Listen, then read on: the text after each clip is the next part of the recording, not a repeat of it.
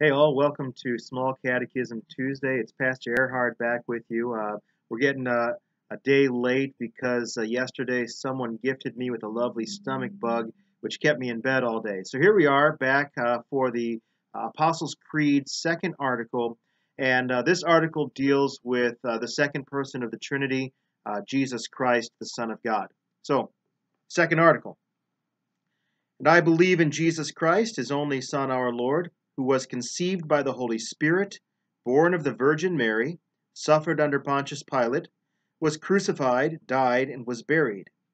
He descended into hell. The third day he rose again from the dead. He ascended into heaven and sits at the right hand of God the Father Almighty.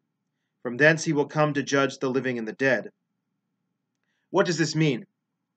I believe that Jesus Christ, true God, begotten of the Father from eternity, and also true man, born of the Virgin Mary, is my Lord.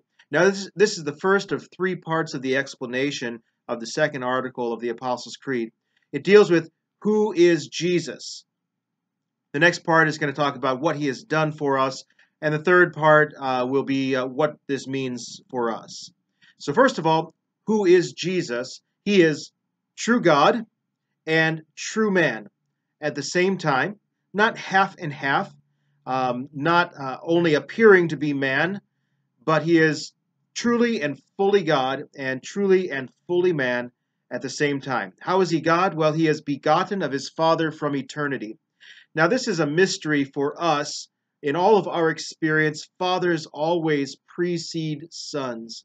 But in the divine economy of the Holy Trinity, God the Father and God the Son are both eternal and co eternal with each other. There was never a time when the Son of God was not. The Son of God has always existed, always as the Son of God, uh, the Son of the Father. So eternally begotten of God the Father. John chapter 1 tells us of this mysterious and sublime relationship of the eternal Word of God, uh, the Son of the Father. So he is eternal God, true God, but also at the same time true man. And that happened in history, in time, as the eternal Son of God came into our time. And what's more, he also came into our flesh and blood by sharing in our humanity uh, through the Virgin Mary. God the Holy Spirit came to the Virgin Mary, and through a uh, mysterious and we could say even a sacramental union, the eternal Son of God takes on human flesh. And so, Jesus, from that time forward, from his conception until now, is truly and fully human, which means that he experiences everything we experience. He feels our same emotions. He uh, uh, encounters our own, are the same temptations that we encounter. And so, Jesus knows exactly what it's like to be in this human body, in this human experience. He has experienced it all and suffered it all. And what's more, he's probably suffered more than most people will in their lives by his suffering and death. More on that next week. So Jesus is true God, begotten of his Father from eternity, and also true man, born of the Virgin Mary. And so we can call him our Lord.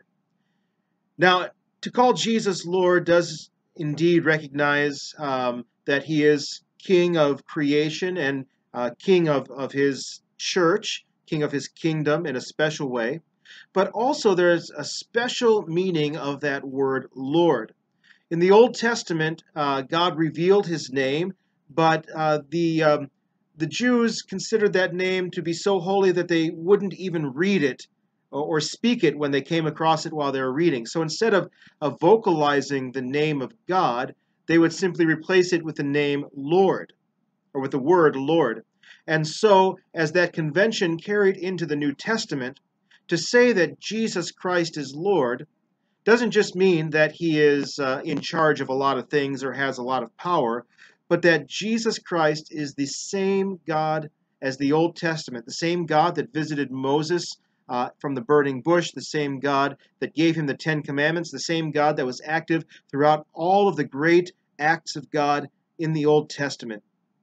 So, God, through his Son Jesus Christ, is constantly involved in uh, delivering his people, um, giving them his gracious activity, and that greatest activity was accomplished for us when Jesus became flesh so that he could go to the cross.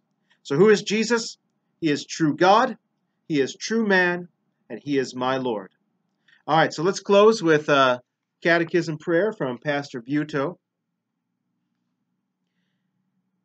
Now, Lord Jesus, my thoughts turn to your holy incarnation, in which you look upon yourself, which you took upon yourself a human nature in the womb of Mary, in order to be as I am, yet without sin, and thereby to suffer and die for my sins to take them away.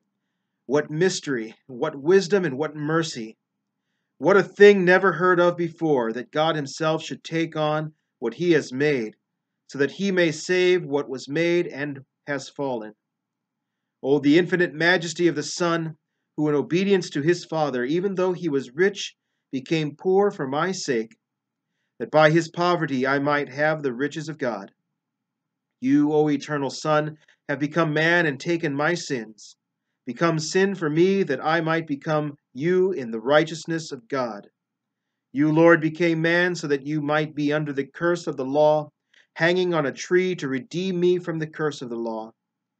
Hear now, Lord Jesus, Son of God, my praise and thanks for what you have done by becoming man. Jesus Christ, Son of God, I call you Lord because you have become man to save me. Teach me that your being Lord is all about your work of saving me from my sins. Do not let me fear you as the one who condemns, but rejoice that you are the one whom the Father has sent to save me from my sins and make me his own. All praise and thanks be to you, O Son of God, for your obedience to the Father and your holy incarnation, by which you came and conquered all sin and death. I praise you and glorify you who lives and reigns with the Father and the Holy Spirit, one God, now and forever. Amen. All right, folks, we'll see you back here next week. Until then, God bless and a blessed uh, Ash Wednesday and Lenten season to you all.